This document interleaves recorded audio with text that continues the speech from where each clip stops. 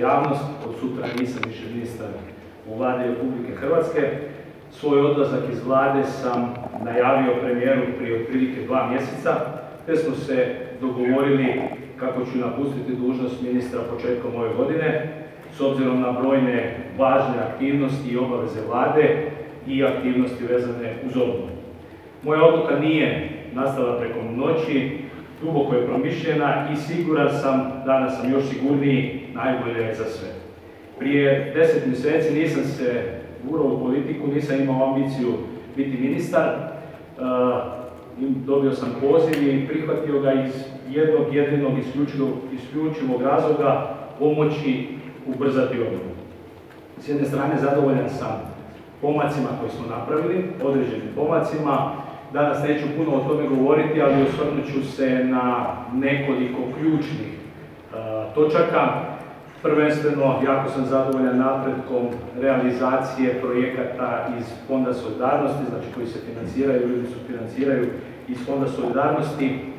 Mi smo, vi to jako dobro znate, e, da je realizacija prije 10 mjeseci otprilike bila ukupno 7% ukupne alokacije za ova potresa, danas je to gotovo 40% ukupne alokacije. Naše ministarstvo je kao nacionalno koordinacijsko tijelo u suradnji i uz veliki napor i, i podršku i rad brojnih resora u vladi koji rade na realizaciji tih projekata, isto tako i brojnih krajnjih korisnika, značajno doprinijelo upravo tom ubrzanju i napriđenju.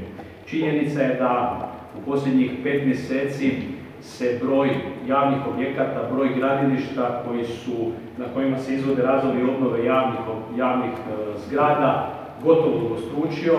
Isto tako broj e, projekata koji su u fazi ugovaranja radova i koji će vrlo skoro početi sa radovima se također gotovo udostručio. Trendovi realizacije iz mjeseca u mjesec rastu, značajno rastu, te samo ukoliko se taj trend nastavi, ukoliko realizacija nastavi biti onakva kako je u 11. i 12. mjesecu, apsolutno imamo velikog razloga za optimizam da ćemo u konačnici opravdati i iskoristiti sva primjena sredstva iz Fonda solidarnosti. Sve dobro, zašto ste na Ću, zaista želim, želim mu svaki uspjeh i svu sreću na, na ovom poslu svim kolegama s kojima sam surađivao u proteklih deset mjeseci želim puno uspjeha u daljnjem radu. Ono što će javnost također vjerojatno zanimati, neću koristiti mogućnost naknade plaće po modelu 6 po 6 mjeseci.